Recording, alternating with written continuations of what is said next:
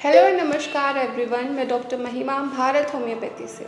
आज हम बात करेंगे स्केल्प सोरियासिस के बारे में, कि स्केल्प सोरियासिस में आपको सिम्टम क्या महसूस होते हैं और पेशेंट को या फिर किसी को भी स्कैल्प सोरियासिस की बीमारी क्यों हो जाती है।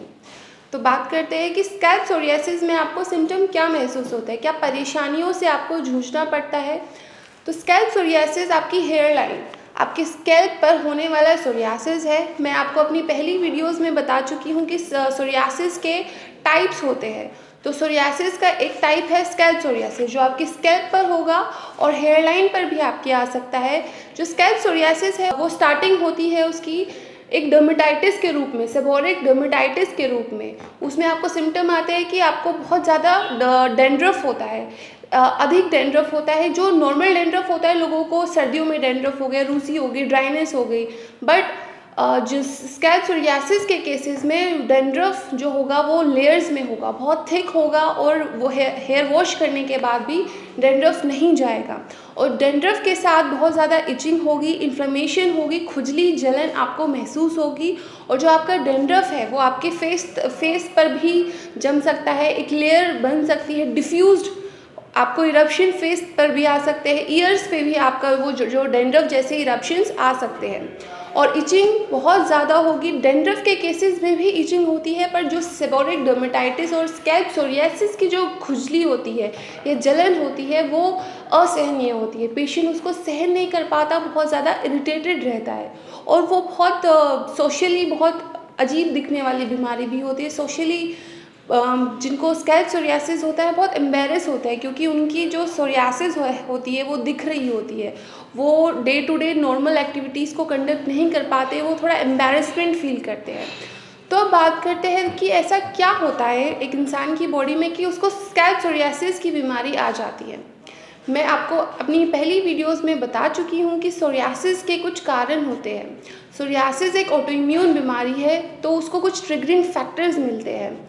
जैसे कि ट्रिगरिंग फैक्टर से मेरा मतलब है जेनेटिक की बीमारी हो सकती है, आपके माता पिता से आपको आ सकती है, या फिर आपके लाइफस्टाइल में कुछ ऐसी गलत चीज़ें आप कर रहे हैं जिससे आपके क्रोमोज़ोम जो कि प्रोन है इस बीमारी के लिए, वो थोड़े ट्रिगर हो जाते हैं और आपको ये बीमारी लग जाती है। तो एक ऐसा ही क्रोमोज़ोम है सिक्स पी टू वन ये क्रोमोज़ोम क्रोमोज़ोम को अगर कुछ ऐसे ट्रिगरिंग फैक्टर्स मिलते हैं तो ये क्रोमोज़ोम आपको स्केल्प सोरियासिस की बीमारी पैदा करता है।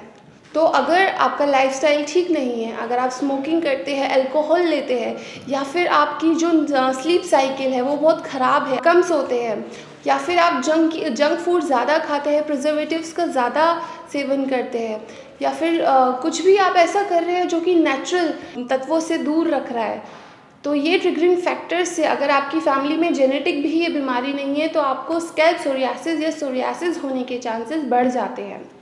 तो अब मैं आपको कुछ टिप्स देना चाहूँगी कि सपोज़ आपको स्कैल्प सोरियासिस हुआ है, ठीक है, आपका ट्रीटमेंट चल रहा है, फिर भी आपको आराम नहीं लग रहा है। तो आपको कुछ ऐसी टिप्स है, ये टिप्स आप इस्तेमाल कर सकते हैं जब आपका इलाज चल रहा है या फिर आपका इलाज नहीं भी चल रहा है तो ये आपको थोड़ा रिलैक्स फील कराएगी। थोड़ी जो उसकी परेशानियाँ हैं, उसमें थोड़ा उसकी परेशानियों को थोड़ा कम करेगी। तो पहली ऐसी टिप है एलोवेरा जेल आप एलोवेरा जेल को अप्लाई कर सकते हैं अपने स्कैल्प पर। आप एलोवेरा जेल को 30 मिनट्स तक स्कैल्प पर अप्लाई करके छोड़ दीजिए। उसके बाद वॉश कर लीजिए। एलोवेरा जेल में बहुत सूदिंग प्रॉपर्टीज़ होती है, वो एंटी इन्फ्लेमेटरी प्रॉपर्टीज़ रखता है। उससे जो भी इन्फ्लेमेशन होती है, वो बंद हो जाती है और आपके स्कैल्प को थोड़ा आराम मिलेगा सूदिंग प्रॉपर्टीज़ मिलेगी, जिससे खुजली और जो जलन की शिकायतें हैं, वो कम हो सकती है। ऐसा दूसरी टिप है कि आप अपने स्कैल्प पर ओट मील थेरेपी दे सकते हैं। जो नॉर्मल ओट होता है, उसको आप रो ओट को आप थोड़े गर्म पानी में भिगा कर रखिए कुछ देर के लिए और उसको अपने स्कैल्प पर सोप कीजिए। ओट मील थेरेपी के बाद आप अपने स्कैल्प को धुल लीजिए। इससे भी आपको आराम मिलेगा, जो आपको खुजली और जलन की शिकायतें हो रही है, उसमें आपको थोड़ा आराम मिलेगा। थर्ड टिप है कि आप एप्पल साइडर विनेगर का इस्तेमाल कर सकते हैं।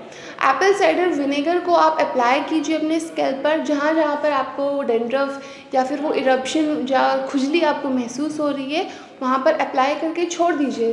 30 से 45 मिनट तक छोड़ दीजिए और उसके बाद उसको धुल लीजिए।